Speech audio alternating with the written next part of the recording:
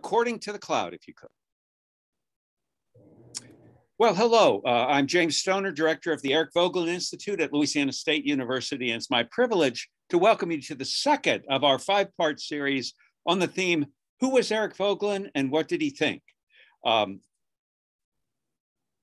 uh, Voegelin taught at LSU for about 15 years uh, and uh, uh, published there some of the works we'll be talking about today, including the new, uh, published here, uh, The New Science of Politics.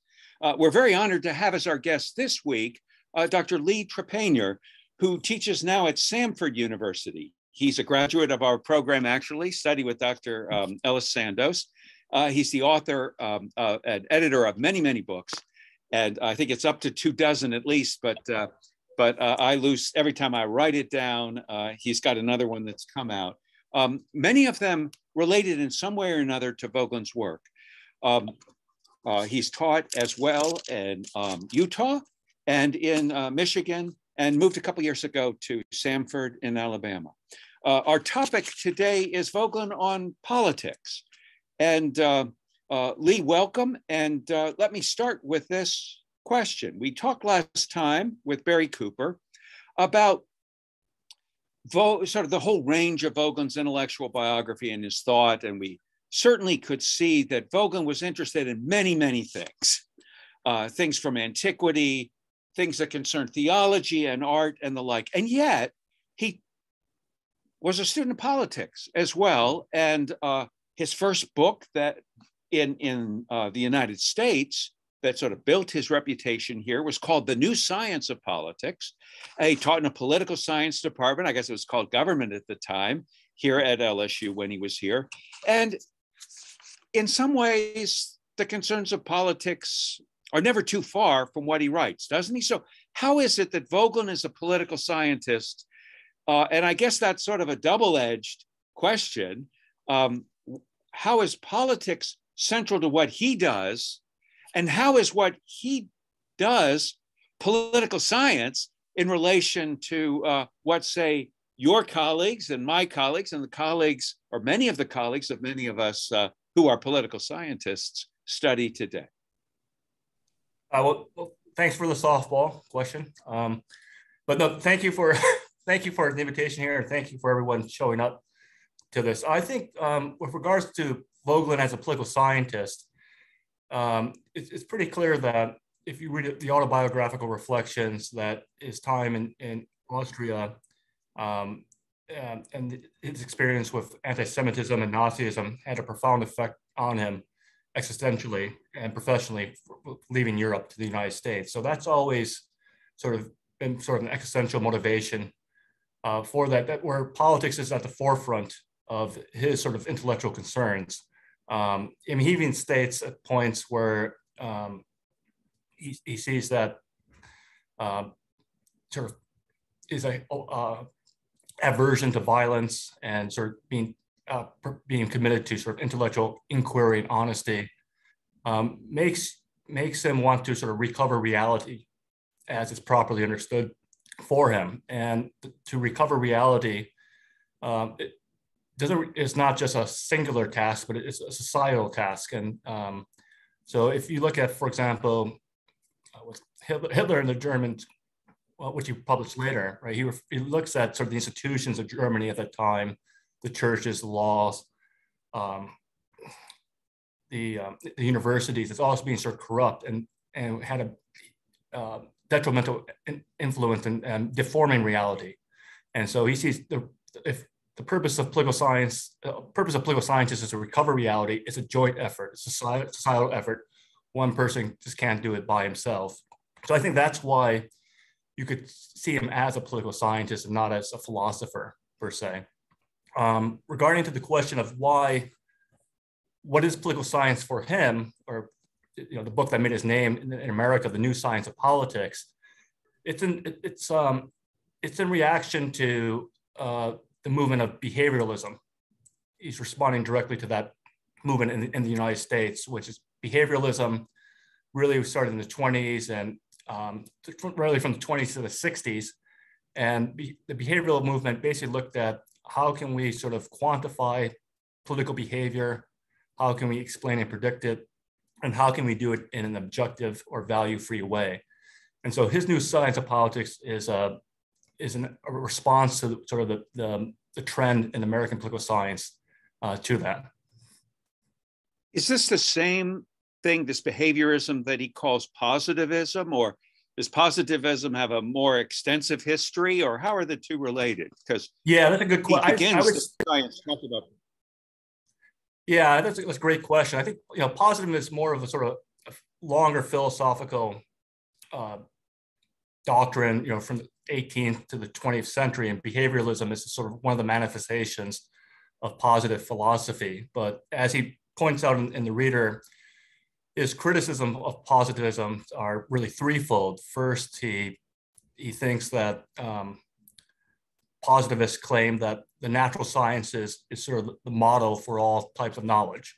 Um, and he thinks that's not true. And then secondly, the second criticism of positivism is that the positivist method or the, the scientific method is the only way that knowledge can be produced. Um, and so um, we so the method is more important than the actual subject of study. And so if anyone's read um, some of the top journals in the social sciences, I won't name them.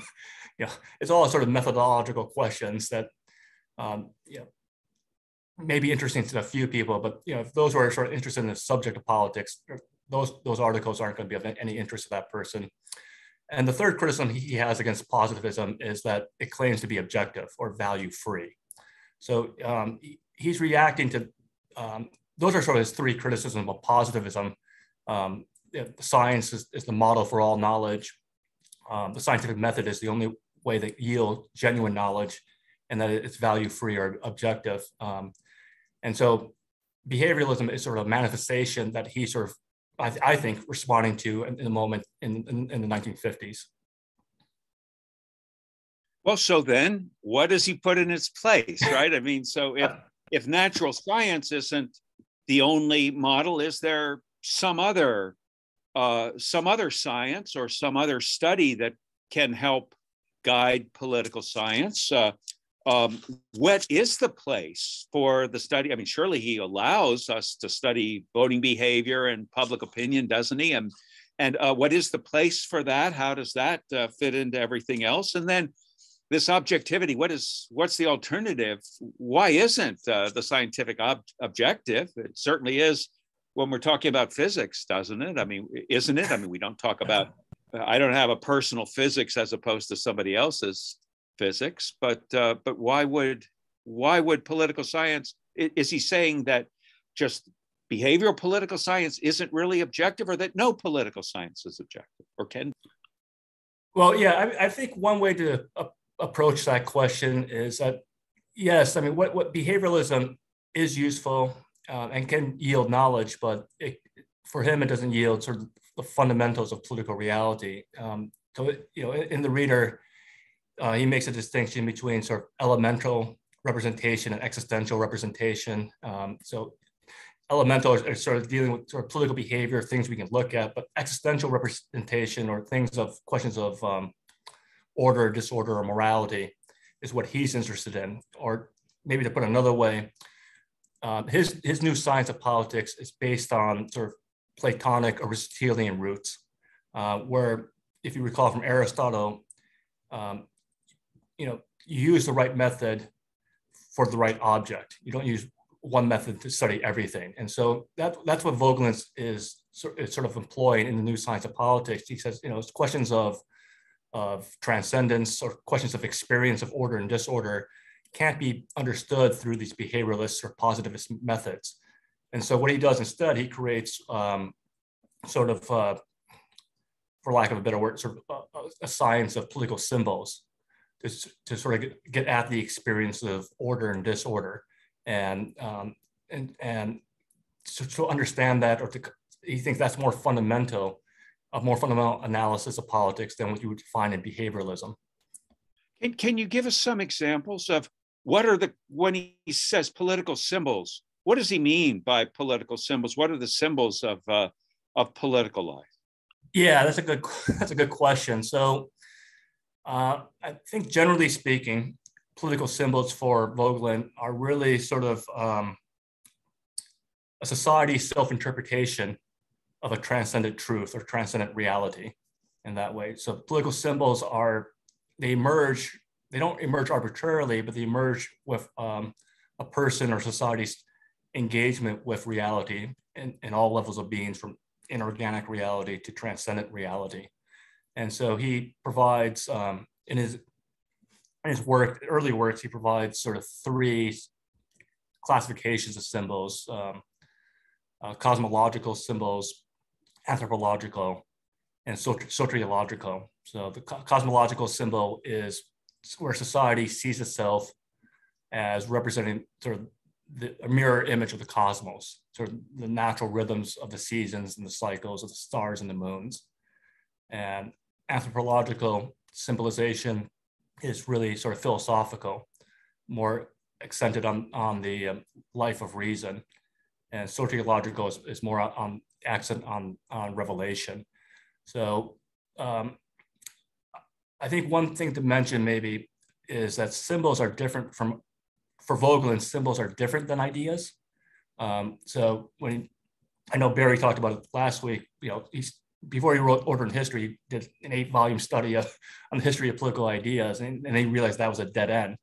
That he wasn't interested in ideas, but he was interested in um, political symbols or really the experiences behind those symbols, as it were. So um, ideas are for Voegelin sort of can be are objects that can be manipulated and constructed and used in ideologies, where political symbols are really just a genuine expression of a person or society's participation in reality, um, and as a sort of order, as a representation of some sort of transcendent truth. So, so by symbol, he doesn't just mean the flag or uh, uh, the Capitol or something yeah. like that, I suppose. Although maybe the Capitol would come a little closer. It's become and uh, uh, it has taken on renewed importance as a symbol in American politics in the last couple of years. Um, c- consent of the governed is that a symbol? Is the Constitution a symbol? Uh, uh, I, am still trying to figure out what's a symbol as opposed yeah, to. No, the, and I, I mean, consent of the governed might be an idea. What about the Constitution? Is that a symbol? Uh, uh, representation itself. What? Uh...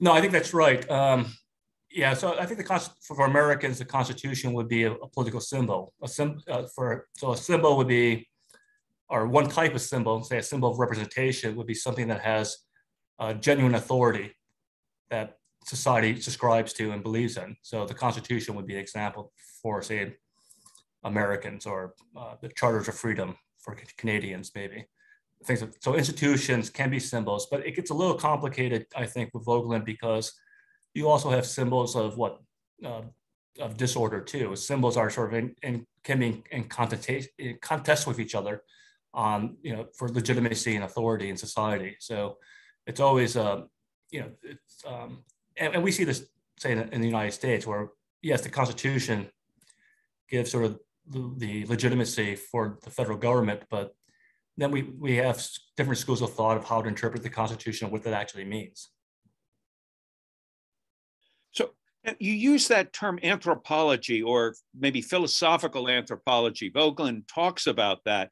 Is that a part of political science or is it a, a discipline that political scientists really need to know? And, and if so, how does that figure into the study of political life? I mean, is it just psychology or is it something different? Yeah, I, I, so I think so anthropological symbol would be um, is, is is the case where it's um, say Socrates against uh, Socrates' trial in Athens, for example. So um, the Athenians um, had a certain view of legitimacy and authority that they symbolized in, say, the old gods. And then Socrates has a, a new type of insight of transcendent truth, where he symbolizes in philosophy. And so, um, what in, in, the trial of Socrates, you have these two sim- these two political symbols in, in, in, contest with each other, trying to struggle with one another to say what should be the transcendent truth for society. Should it be, you know, Socrates' inside of the life of reason, or should it be the older gods of Athens?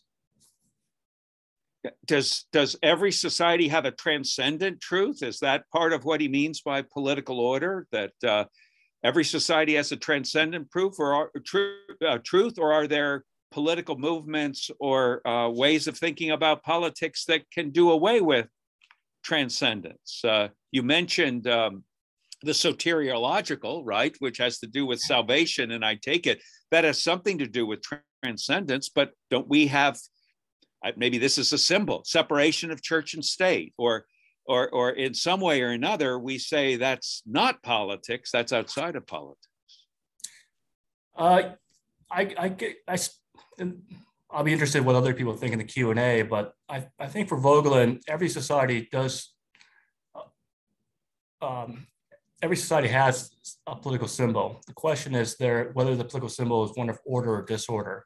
So you have, I mean, Voegelin himself mentions that, for example, the Soviet Union, all right, it, it, it, what you would call a, a Gnostic political symbol or symbol of disorder in that, in that way. So um, it seems to me for Voegelin that every society wants to, has to sort of symbolize itself or has to give its own self-interpretation to its people. Um, but whether it's one that's um, rooted in transcendent truth or one that's sort of rooted in a deform, deformation of it or a Gnostic version of it uh, will vary from society to society. Is that what political science does? Is sort out different kinds of order or order from yeah, dis- I, I mean defines order from disorder. I guess sometimes I mean, I guess sometimes it's self-evident, but other times it isn't, right? You said contest contests about the meaning of the Constitution. That's actually part of our order. It's not a sign of disorder, although someone might come from another society and say they argue all the time in, uh, in court. They have no idea what their uh, constitution means. that must be disorder. I mean, who sorts that out? How does what what what framework does Voegelin give for sorting out the difference between order and disorder, or different kinds of order? Yeah, I think it's, it's, in the new science of politics, one of his projects is he's trying to he states he's trying to uh, basically look at a variety of political symbols and then look at the experiences underneath those political symbols. And what essentially he's trying to do is create a aggregate cl- class of experiences used as a sort of reference points or a database to see which are experiences of, experiences of order and which are experiences of disorder in that way. Now the question is, um, you know, how you may somebody may, may say, well, that's just his interpretation. um, you know, he says this experience A is one of order and experience B is one of disorder. And I think the only answer to that is that we would have to, as other as political scientists, and as readers, we would have to compare those experiences with our own experiences and see if they comport with each other and see if they match with our understanding of what human nature is.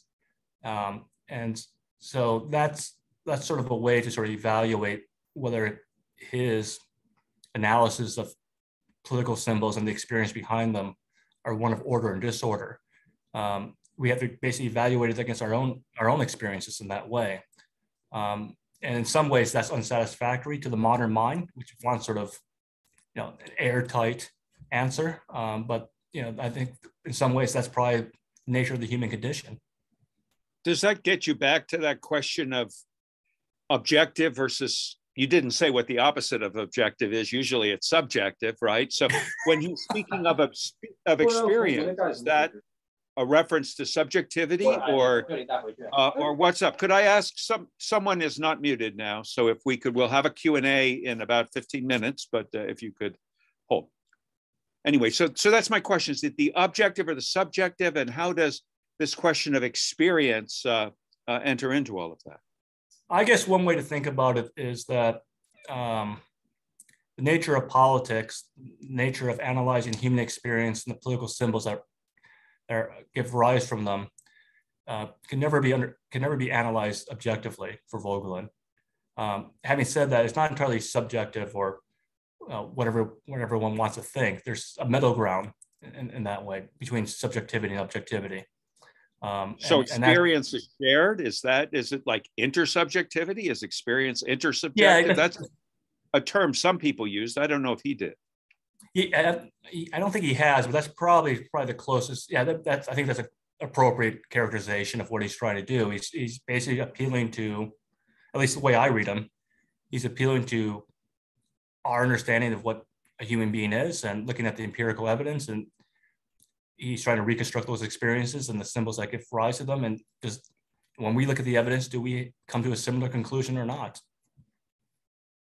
when when he's looking at this sort of classification of different kinds of order um, he makes a judgment between them doesn't he? I mean that is to say you have the order of genghis khan. We have in uh, a quotation from an extensive quotation from Khan or one of his scribes in uh, the um, the volume that we've been uh, sort of tracking the the uh, Eric Voegelin reader we've been tracking in our um, uh, our, our, conversations.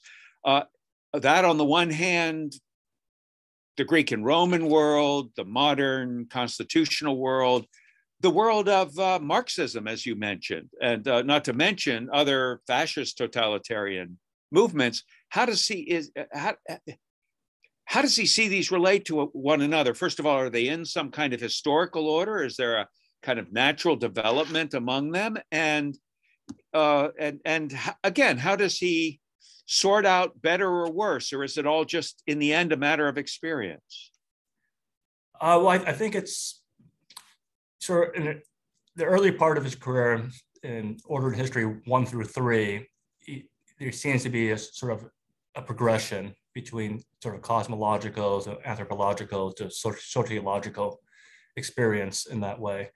Um, and later in the 70s, um, with Order and History 4, he seems to sort of back away from that, that progression, as it were.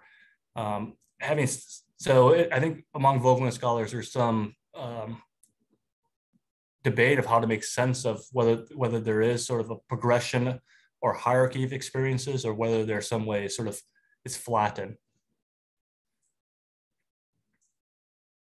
There, there's um, an interesting essay. It's actually an excerpt, but I think from something longer in the reader uh, for the section on politics about the good society.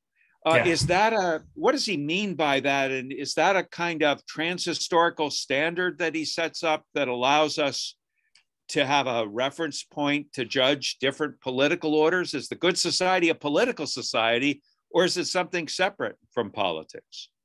No, I, yeah, that's one of my favorite parts of the, of the reader is the good society, where I mean, for Voegelin, the good society is obviously a society that has enough uh, wealth and organization, but more importantly, where the life of reason can sort of penetrate or society or has a social force in society. Um, I and that I think that in some ways can be a standard uh, standard to evaluate other societies. Um, it sort of raises the question. I mean, I think one of the things I think I find fascinating about that essay is that he doesn't really um, give a particular political organization for the good society. He says, you know, it could be a polis, it could be a nation state, it could be something else in that way. So there's a flexibility on the on the form of society. I think more importantly, is there a life of reason uh, as a social force, whether society society that is. The um, the other part of the essay I always find fascinating is um, sort of the, the intercivilizational dialogue between the West and China and India, right? He says in some ways China and India are a, a cosmological civilization and they haven't been able to um, break free from that. So how, how do we, how does say the West, which is has sort of a more rational um, rationality has penetrated that society, how does it actually able to communicate with a, just a civilization that's cosmological? And, and, he sort of goes through various options on that. But it's, it's a problem that I think in many ways, it's an essay that's so relevant today, right? How do we, you know, how does the United States communicate with, say, China or India? Um, and are we talking past each other because of uh, our the way we see the world? Our political symbols are just very different you would say he he he thinks we are you think or at least that's his implication that we we tend to or do societies again back to that question do they move from or how does society move from a cosmological orientation whatever that is i'm still not sure whether you've defined it unless it's where the government pretends to be ruling by divine right yeah. uh, or because uh, uh, it, it's speaking for the gods or the god or whatever um, uh, how do you move from that to this world of philosophical anthropology where there's, I take it, well, I don't know, is the rule of reason the rule of debate and exchange, or is it uh, uh, the rule of the rational bureaucrat? I mean, uh, Hegel thought that there was a movement towards a rational society, but its completion is the Rechtsstaat, right? Uh, uh, a fully yeah. developed um, administrative state. Is that what Voegelin means by rationality, or is there something else going on?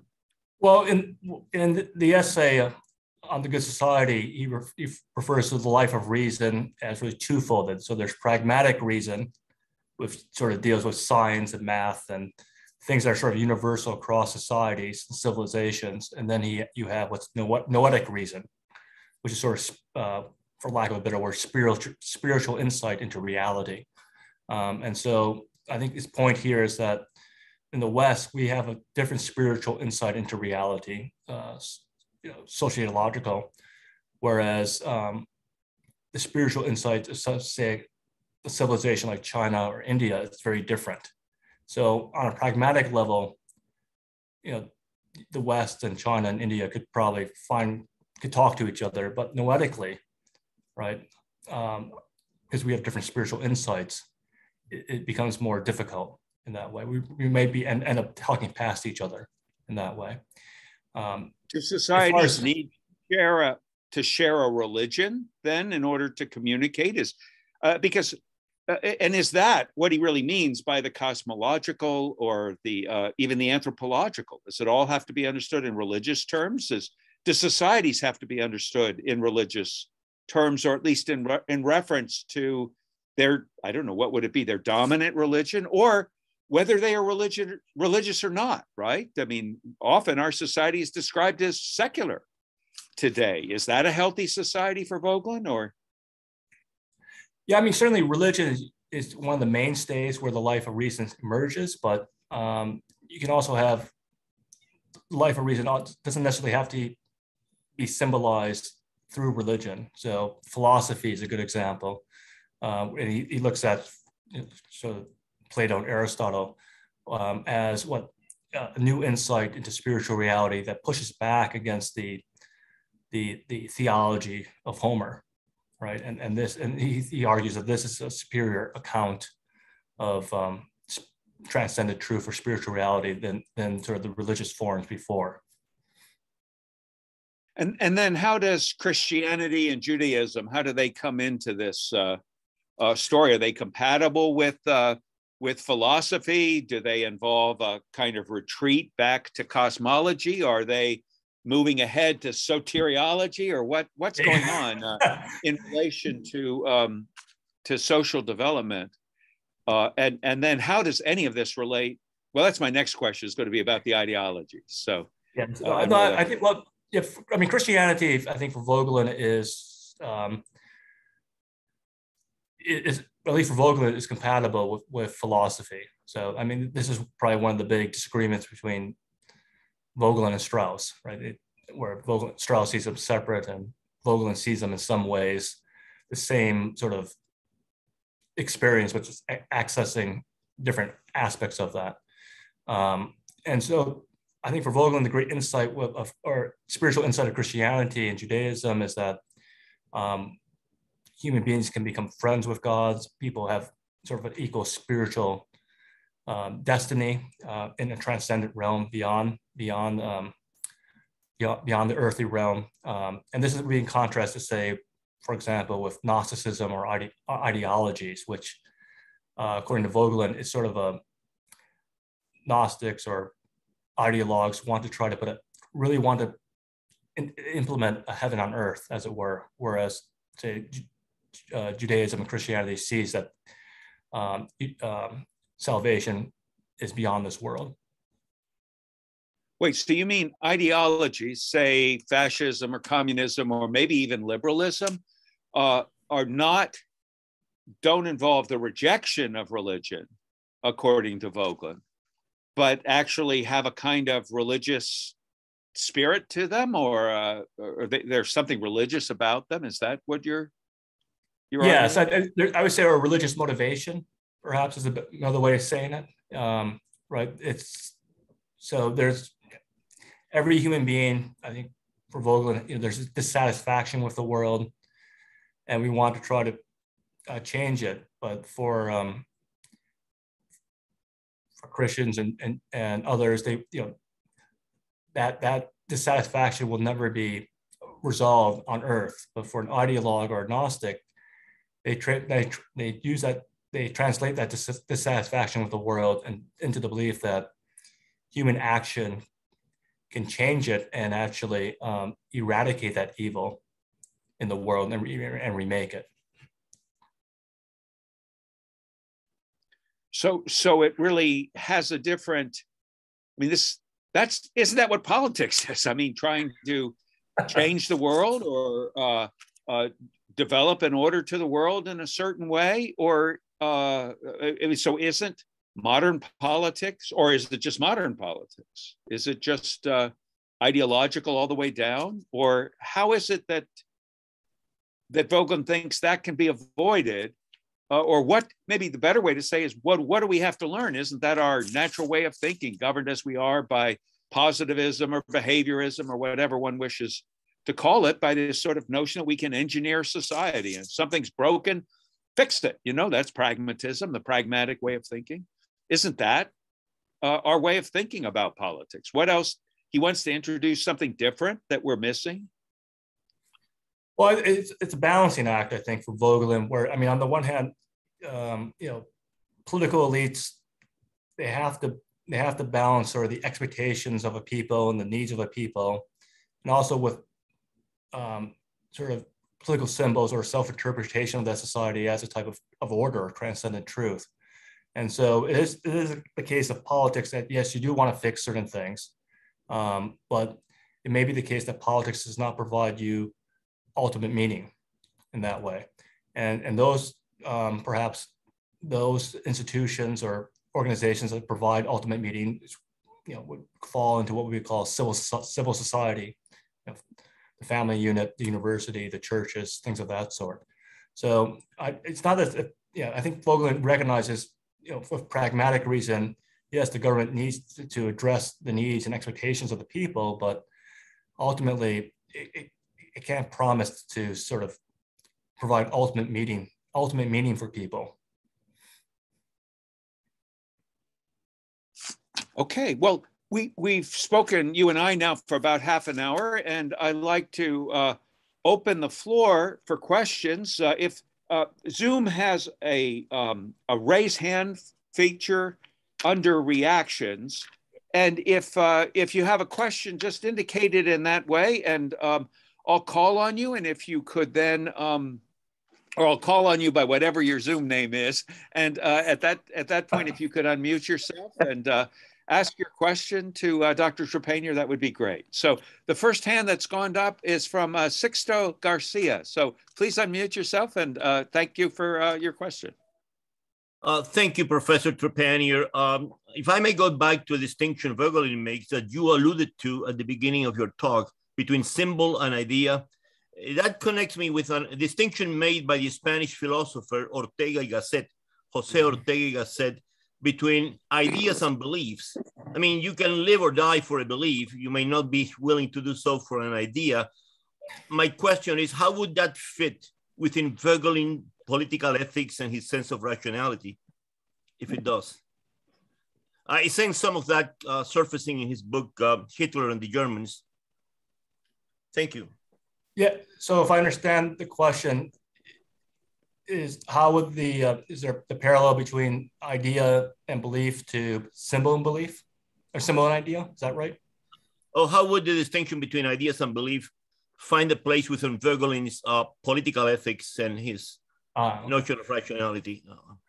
Yeah I, I, my sense is that ideas are more for Voegelin ideas are more, are more susceptible ideas are basically objects that can be manipulated and are more amenable to ideologues and Gnostics in that way. So he, he tends to be a bit, sus- he recognizes the, the, utility of ideas, but he tends to be suspicious, I think, of it.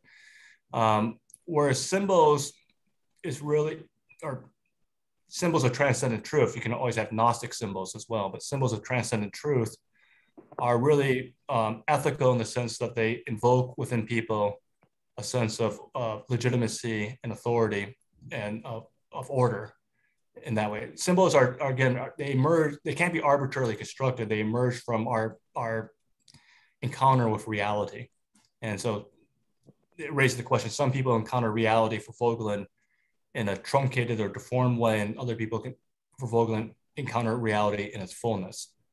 So I don't know if that answers the question or not. But. Yes, thank you. Thank you very much. Thank you. We have a question now from uh, the Voegelin Institute. Uh, uh, the, the, students and others grad, uh, gathered there. So uh, uh, let's see who's our questioner and go ahead and speak. Conrad, Dr. Stoner. Um, so one of the most interesting bits about this this week's reading is what struck me was on page 75 when Voegelin is talking about the conceptions and the substance of order, like proper like proper order in a society. Um, the title of the chapter is Necessary Moral Bases for Communication in a Democracy. He says this is the uh, uh, beginning of the first paragraph in 75. In the classic and Christian conceptions of society, the substance of order is understood to consist in the homon um, homonoia of its members. Uh, men are members of the society insofar as they participate either in the nous in the classical sense or in the logos in the Christian sense. This conception of social order was predominant well into the 17th century. The, um, the main thing that I got from Voegelin talking about um, how to properly orient communication and democracy is people have to be familiar with the kind of notions they're discussing. So constitutionalism, rule of law, um, so what is that? Um, so every good um, dem uh, democratic peoples know exactly what we're talking about um, in this kind of uh, way. Voegelin later says that there are going to be good and bad orders, as you said earlier, sir. Um, so based on that, um, is there there needs to be this kind of familiarity with these concepts um, that um, create democratic societies to Voegelin, or is this something that has to develop on its own over time? I hope that makes sense. Yeah, no, it, it does. Um, so I, I think the key is um, homonoia or like-mindedness, right? So people have people have a like-mindedness to the regime, as it were, or what we today call civic education right? So it may be a case where people, um, yes, it, sort of they, our citizens have a conceptual understanding of the Constitution, federalism, separation of powers, but it's also important as well that it's a lived experience as well that they're able to participate in civically in the in their polity, as it were, and that's what's really crucial for for a good society. Um, and I, I, think it's interesting you, you cite that essay um, the moral basis of, communi- of communication because what that essay is pointing out is that um, he's sort of he's criticizing the idea of a pluralism. Like, uh, we're a pluralistic society. Everyone has their own opinion. Isn't this great? and, he's arguing, no, this is actually this is this is terrible. if you look historically at the past 450 years, right, it's a pattern of what movement, counter movement, war, some sort of temporary peace, and then we, we cycle starts all over again. And the only way to sort of break out of that cycle is if we can have um, some sort of moral basis or some sort of homonoia among all our citizens, or at least a super majority of our citizens that we can agree on as sort of a, a moral uh, moral reference point, then to sort of evaluate various opinions that are given. So um, yeah, no, I mean, so th- those are sort of my thoughts on on that. Uh, yes, sir. And sorry, just one more thing. You call so me Lee. It, you call me sir. okay. Um, the, so is uh, maybe Voegelin saying that maybe we should kind of copy what Homer was advertising in the Iliad, uh, that all of these uh, these Greeks have this understanding of what is moral. That's why what Achilles is doing is so horrendous as he's dragging the ba- body of Hector before Troy, and both sides are like, "Whoa, you went way too far with this one, Achilles." uh, possibly. Um, I think probably for the American context, probably someone like Tocqueville will probably be better fit in terms of civil society uh, and, and, local association. But I, I get your point. the, the, next question comes from uh, Benjamin uh, Mabry. Ben? Thank you. Uh, something I wanted to point out and uh, ask a question about. Uh, one of the things that Voegelin says in the in the beginning is that the deviation from uh, classical to modern understandings of politics comes from the rejection of ontology and the rejection of philosophical anthropology. And from that, we get all of these ideological religions communism, fascism, and liberalism. Uh, and when he talks about the rejection of ontology, what I noticed is he keeps coming back to this same pairing of order truth and disorder lies. And so it seems to me here that he's articulating a an objective reality and ontology that all people share through their common access to reason. And so if he's putting forward this model, and, and, and I'm seeing it in my notes over and over and over again, uh, you know, truth has to conquer lies in order for order to exist. Truth is accessible through the soul. The soul must be reestablished as the center of man.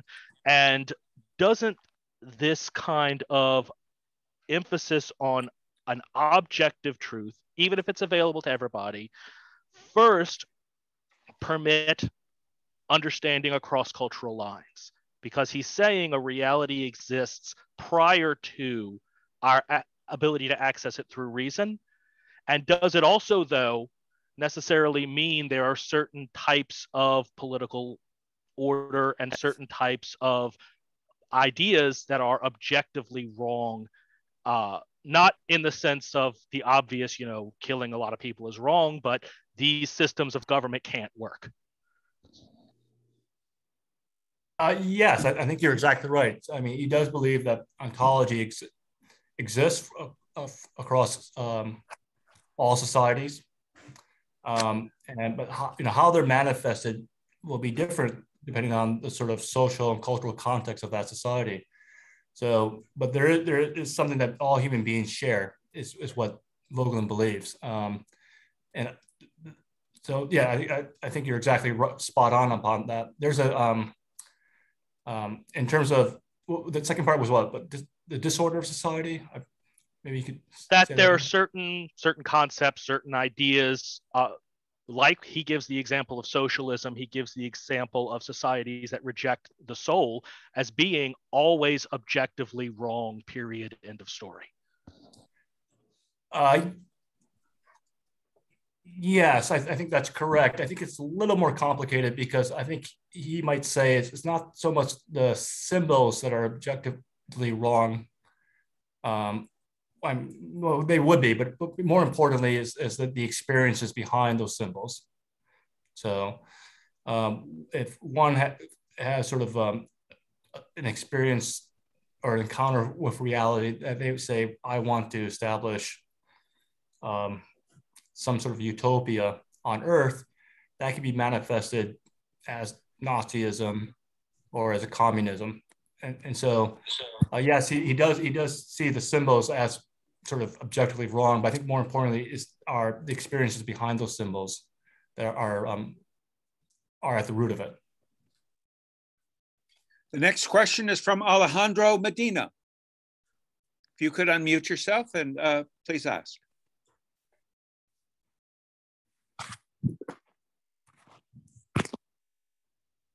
Should be maybe bottom left of your screen, a little button that uh, you can press to unmute.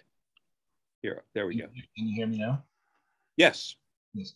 Uh, okay, great. Thank you. Thank you very much. Um, I'm I'm still struggling with uh, this idea of symbols um, that that uh, Dr. Uh, Stoner um, brought up several times.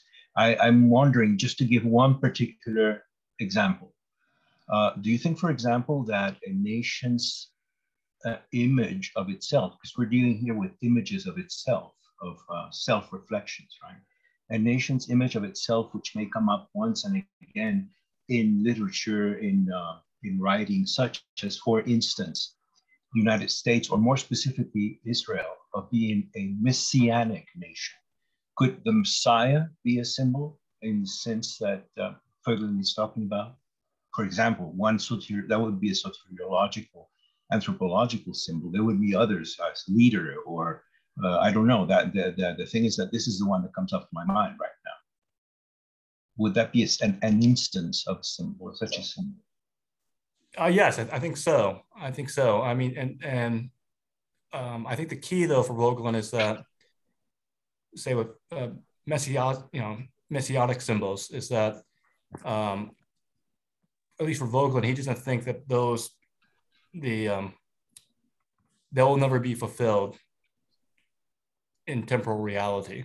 So um, I think, in fact, in Israel Revelation, I think we're going talk about later in these sessions you know, he, he looks at Isaiah as sort of a, a Gnostic prophet who, who who's messianic, but who's um, um, but for all the you know he, he's illeg- he's a Gnostic, he's illegitimate, he's, he's evoking political symbols, but um, ones that are ultimately one of uh, disorder in that way. But yes, I, I, I think I, yeah. I, wasn't so interested in the, the viability of, uh, of, of this being actually accomplished or not, whether they can or cannot be eventually and ultimately messiahs or not. But just the, the, the idea in itself, or the, the image in, it, in itself, you know, Messiah is a very concrete image. Or I'm thinking, for example, um, I'm thinking uh, right now of, uh, of an image also um, in the 16th century, uh, printed image of Europe that tried to give to accord to each nation uh, a part of the body. And uh, because Spain was uh, predominant at the time, Spain was the crown, and head, and then you had France was the torso, and so it went on like that. Uh, so the, obviously there's an image there, a symbol there of being the head. Um, I imagine that would be a kind of a, a political symbol in the sense that Voegelin is talking about. Everybody thought of itself then at the time as belonging to a nation that really sort of uh, led Europe, and, uh, and, and that would be. I'm just trying to figure out exactly what uh, to, to to translate symbol from a very abstract uh, notion to something concrete that we can actually see such symbols.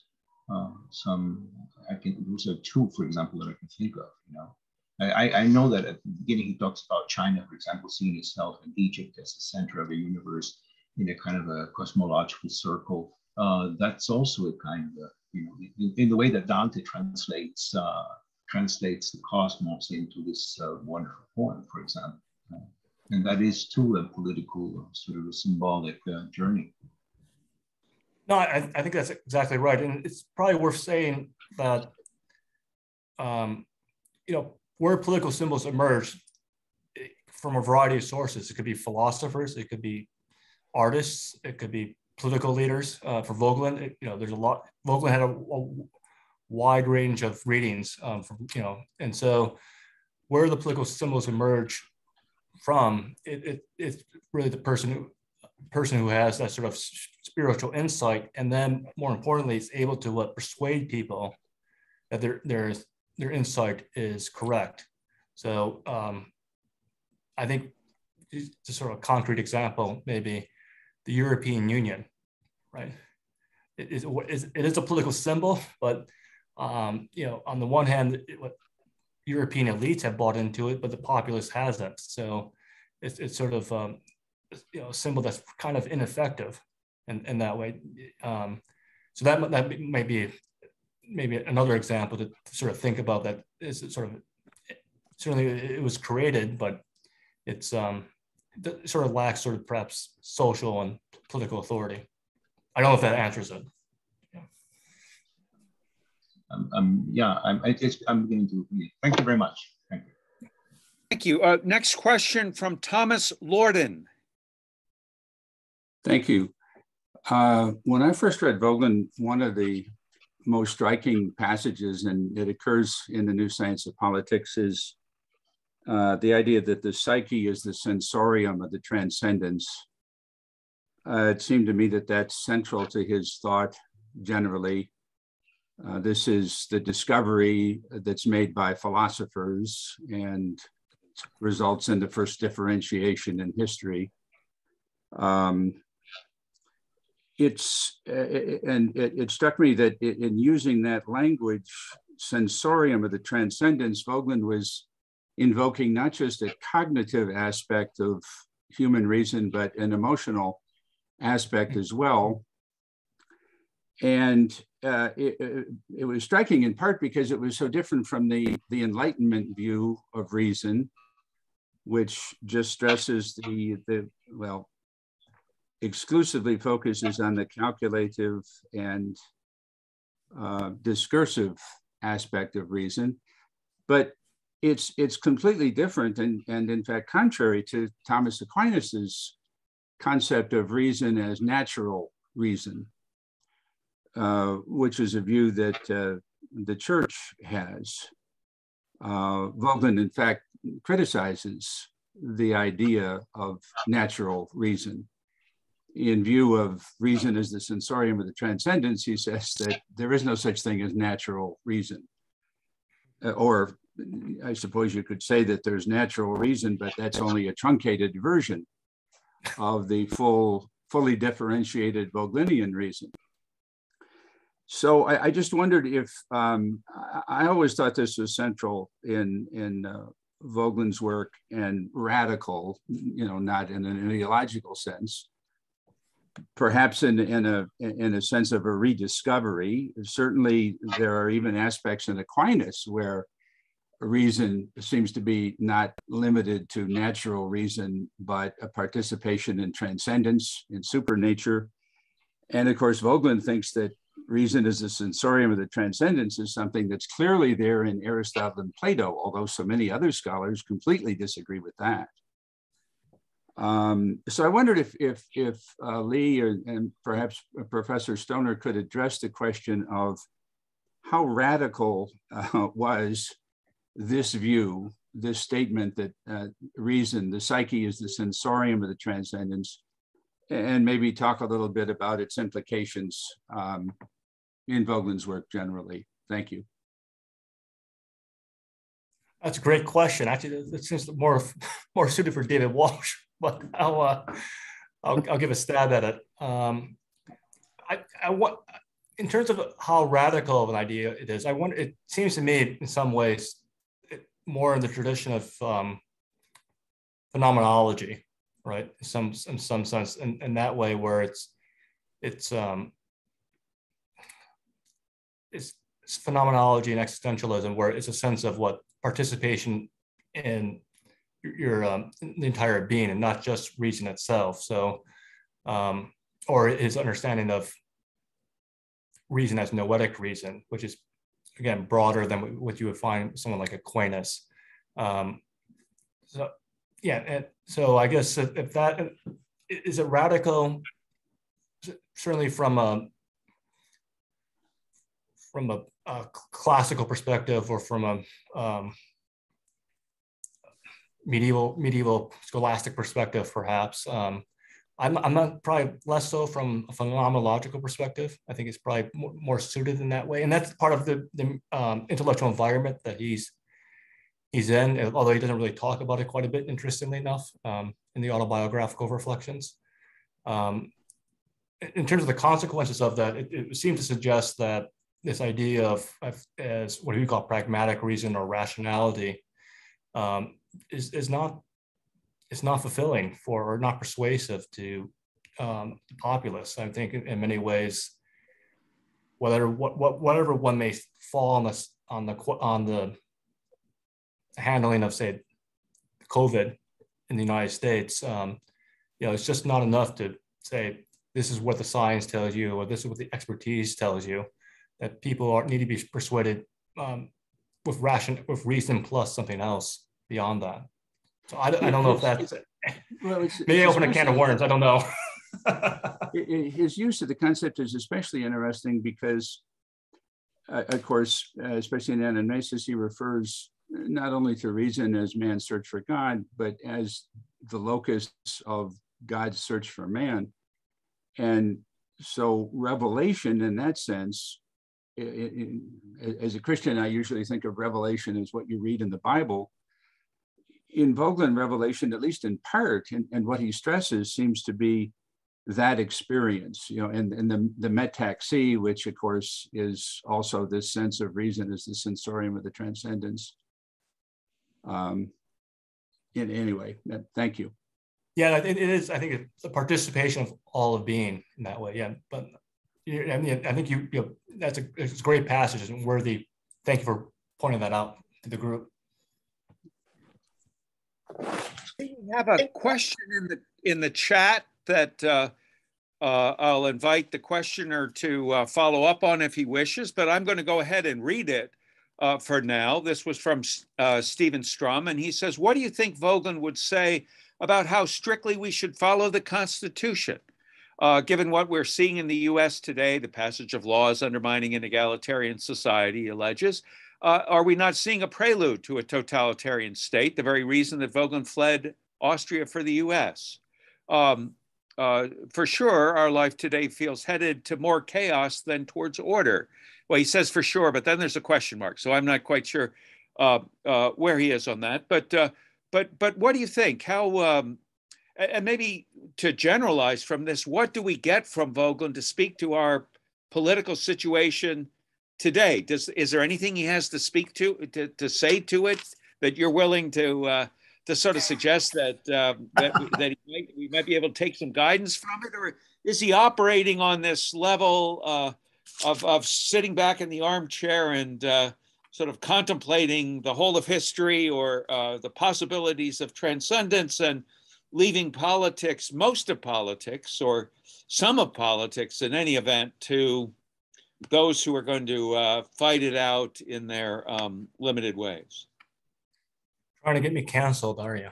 So, um, I, I, think there's probably a, a, few ways to approach that uh, question. I think one is with the what you said earlier, actually, about the Constitution, our debate about what the Constitution means in many ways it, it suggests that um, really that we're probably healthier as, a society than sometimes we think. But um, the essay, I think, of, the, of, the, readings that we, we did today is the communication, the moral basis of moral, the need for a moral basis for communication is, is probably the best one to use to sort of analyze our, our political discourse, right? Where we really just we are now just um, we're not even, even talking past each other. We're just talking to ourselves. You know, one camp is talking conservatives are talking to conservatives, and liberals are talking to liberals, just to rally their their bases in that way. And there's no agreement between the two camps, between the polarization of opinion, because we can't we don't share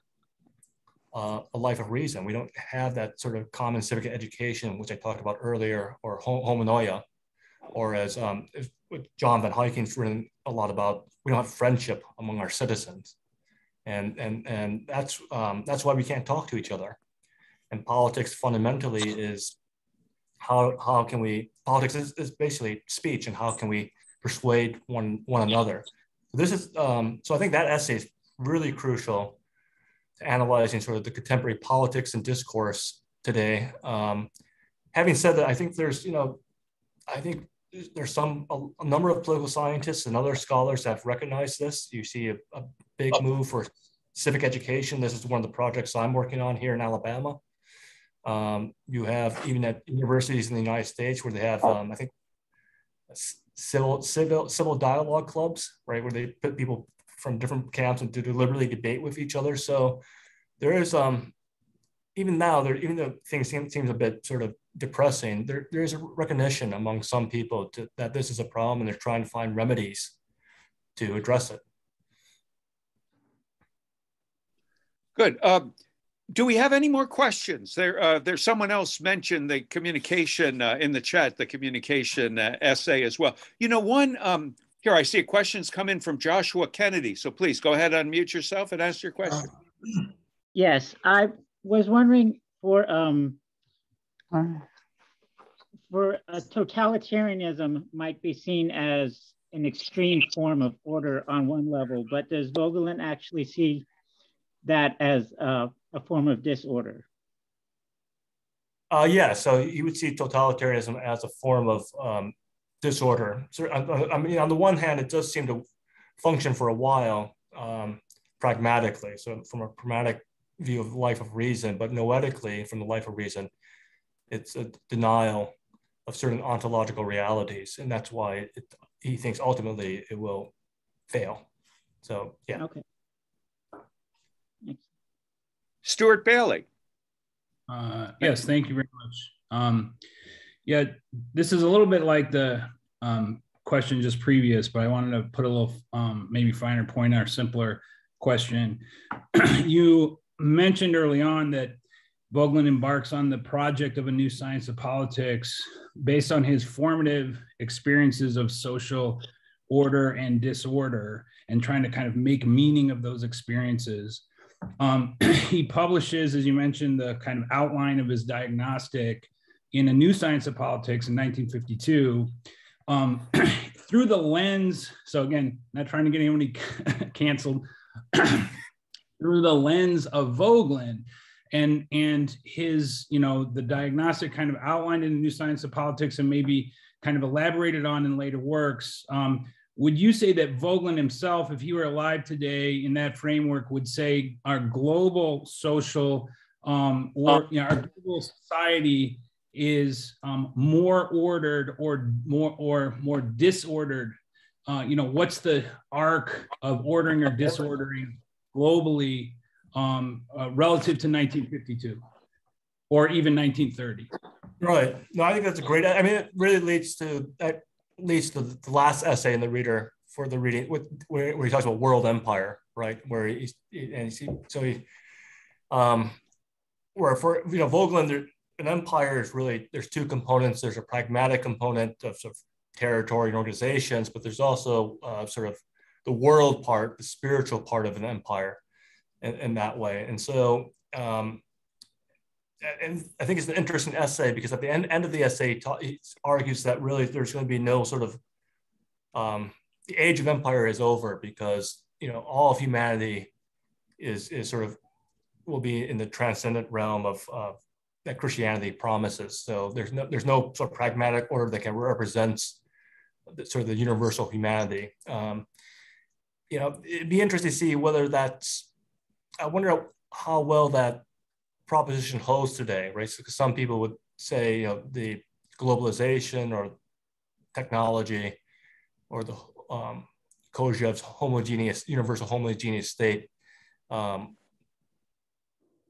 may, may, may be a contrary response to Voegelin's prediction. So I, I think there's, um, um, it, yeah, it's an interesting question. Um, I really haven't thought it through specifically for today's environment, but um, that that's I think some of the implications implications you can draw from that that essay would be very fruitful. And, and I'm glad you mentioned that essay because uh, I enjoyed it enormously when I I read it. But but see if I'm understanding something correctly here. When Voegelin talks about order, he in a way starts from the premise that coercion does not create order I mean, in yes. other words, when Voegelin is talking about order, it has to be created in some other way than by coercion, and that that's that's sort of the idiot mistake that most people make in thinking about politics. That order comes from a sword, and and Voegelin's argument in this whole progress of societies, the whole struggle is that order doesn't come from a sword. Uh, blood comes from a sword and it's just uh, uh, it's it's just sword against sword and that a principle of order is the alternative to coercion so that the gnostic idea is that coercion slash the tires is our latest version of it right? Uh, to cross our northern border uh, that that that this is not creating order. This is the alternative to order and a, a promise of disorder. Am I right about that? Uh, yeah, I would agree with that. I think yeah, I would agree with that. I think the other interesting thing about the essay is that, or the implication of that is that you know with empire you can have I mean, it is a different type of political form that he, he's analyzing, right? Um, compared to the nation state or the polis. And so you know, he sees sort of um, you know, empire by itself sort of is what uh, diverse and allows different parts to exist, right? The life of reason can exist in an empire, whereas the life of reason couldn't exist in a totalitarian state, right? Because emp- empires are not homogeneous as, as a totalitarian state. So there's a lot of, yeah, I think there's a lot of interesting things that you can draw out from that essay. Um, and, and dealing with questions of sort of um, globalization and cosmopolitanism today. We, we have just a little more time, and I see two last questions. So the first would come from the Voegelin Institute again. Um, so Charlie, if you'll unmute and uh, let's uh, present our question. Oh, oh, hi, hello. Uh, I'm uh, Alex Warren. I'm Jim's colleague here. Uh, I found the essay on uh, world empire was quite fascinating. I liked the beginning a lot. At the end, I felt sort of spun out of control. It began to make sweeping claims in in very intemperate language, uh, which left me underwhelmed. I mean, first of all, he attacks a fairly obscure, at least I've never heard of them, figure named Turgot from the, I guess, French Enlightenment. Um, and he thinks that there's some very clear, direct path from uh, these philosophes to uh, dangerous maniacs, uh, apocalyptic concentration camps, uh, Gnostics, the religion of Comte, social terrorism, the, the, the number of, uh, of sweeping formulations uh, builds up. I, what he's saying, of course, is something we've all sort of heard that your progress eventually falters. I guess it leads to a uh, to desperate attempts to realize it, which you know culminate in fanaticism. Um, I don't think that's I mean so original. I mean the way he phrases it though makes him seem uh, to me anyway, as if he might have uh, overreacted to the atrocities of the mid 20th century and you know, in a way which you know, causes him to make you know, sweeping attacks that perhaps aren't justified. I, I agree with you. I think there is some, um, and granted, um, he certainly makes some claims at the end of the essay, which are um, sort of probably deserve scrutiny. But um, in fairness to him, he does some of that, that work of, of, trying to link them together, whether you agree or disagree with his other works. He is referencing that. Um, but I, I, I, do think yeah, the end of the essay is sort of interesting in terms of because you can it generates a lot of sort of um, uh, testable hypotheses, which you could sort of see whether they still work today or not. So, um, but I agree with you. There, there it, in some ways, the, the, beginning part of the essay is probably sort of more um, more on safer grounds than towards the end. Last question, uh, back to Ben Mabry. So uh, we've been talking about Voegelin's notion of this ascent, but then uh, I'm looking at my notes at the end of book of chapter four here, and he then seems to follow in Plato's pattern in the Republic, and then provide us also a descent from the heights of uh, awareness down to uh, lower, what he calls lower levels of awareness uh, of man's nature and experience. And so he talks about uh, the Gnostic regime and its turn to intellectual, emotional, and volitional Gnosticism. If you think it, if you feel it, if you uh, do it, it will happen. So, is this pattern of ascent and then descent, which we use to call Plato a, a political pessimist, also valid in interpreting Voegelin. Is Voegelin a political pessimist here who shows this inevitable decline at the end of the good state in the same way Plato shows the inevitable decline of the Callipolis?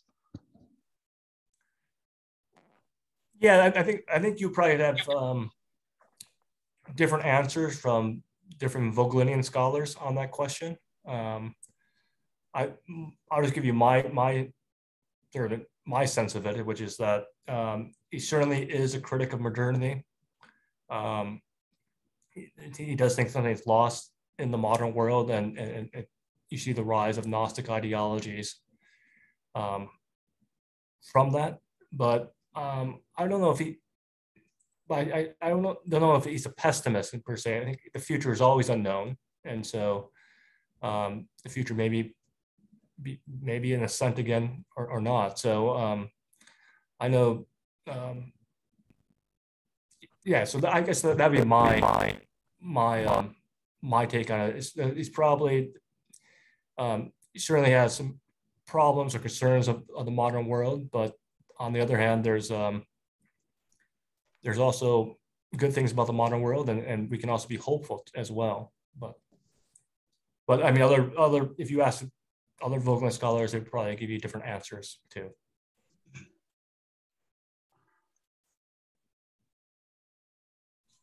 Well, thank, thank you, Lee. I've just uh, created a poll for fun.